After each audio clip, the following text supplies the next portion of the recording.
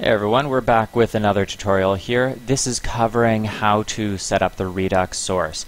This is geared towards all public versions of Redux. In the newer versions, we changed how the source is configured. So a lot of people were having issues with the old video and wanted a guide. So it's actually very, very simple. All you need to do is download and install MySQL. If you already have MySQL installed or are setting up some version other than the one that I'm linking to, you need to make sure that InnoDB is enabled. Uh, after that, you're just going to download the source itself. You can download either the 3.0 release, or uh, I might even have something newer than that, or you can download the older version if you really like. Uh, some people had issues with 3.0 source, but I believe it's just people not executing the database properly. So you're going to download and extract the, the actual source itself. You're going to go ahead and uh, connect to your database. You can use any database management software. I'm using Navicat here. You can use, there is some free software. I believe uh, HeidiSQL is another one I use, or you can use command line if you're a little bit more comfortable with it. All you're going to do is you're going to go ahead and create a new database. Call it whatever you'd like. I'm going to call it Redux 2 so it doesn't interfere with my other data. You're then going to open that database, right click on it, and execute SQL file. Now, once you select the, the file itself, there is actually a problem with how it will try and execute it normally. You need to uncheck the box that says run multiple queries in each execution. That was causing a lot of problems for people. Once you uncheck that, you should be able to execute the entire file and you should not get any errors whatsoever. If you're getting any errors, then that, mean it, that means that it's not going to be able to run properly.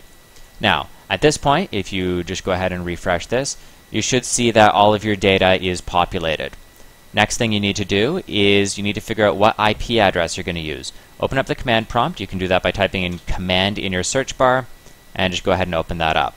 In this case, you're just going to type in ipconfig and we're going to get our local IP address. This will not allow others to connect to your network. It's just so that we can test things. You're going to select the IPv4 address for your Ethernet adapter.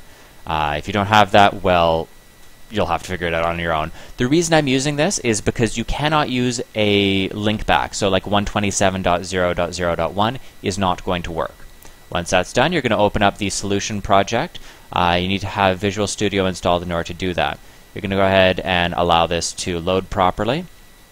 And at that point, you're going to run it. You can click the Start button. You can go ahead and start debugging. You can run it any way you want. I'm just going to start debugging. It will then ask you to create a configuration file. This uh, makes things quite simple. You're going to enter your IP address, whether that is your local IP address, whether it's your Hamachi IP address or public IP, that's up to you. In this case, we're using a local because it's the easiest and quickest way to demonstrate the server working. Uh, we're then going to uh, type in our database name. We're calling it Redux 2 in, in our database, but I'm assuming most people will use the default one. You're going to enter your username and password. I'm going to go ahead and move this off screen here so that you don't take my other passwords. And we're going to then click Write Configuration. It should then pop up saying Configuration complete, server will now start.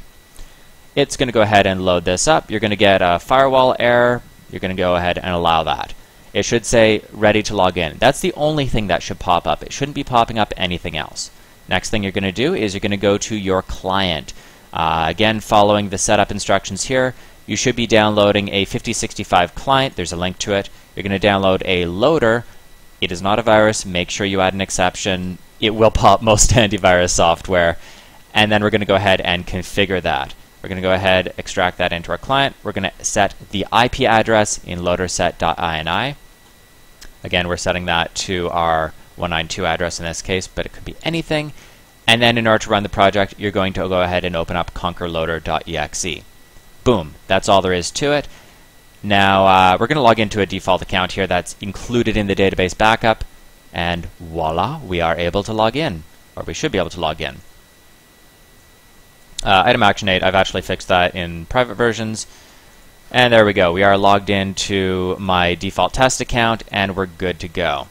So, if you guys have any questions, or if you have other things that you'd like to learn how to do in Redux, please leave some comments below and I'll try and get those handled for you. If you are wanting to use Redux but it's not supporting a patch or you want some custom features added or anything else, feel free to hit me up. I'm definitely doing a lot of work for people right now, and I'd love to have some more clients. Uh, basically, I've already done a 5017 version of the, the source. I'm also considering upgrading it to uh, a newer patch to help people who want some newer features, and that's definitely something that we can try and work out. Uh, so hopefully, hopefully you guys will enjoy this, and it will make the setup that much easier for you. Thanks a lot, and you guys have a great day.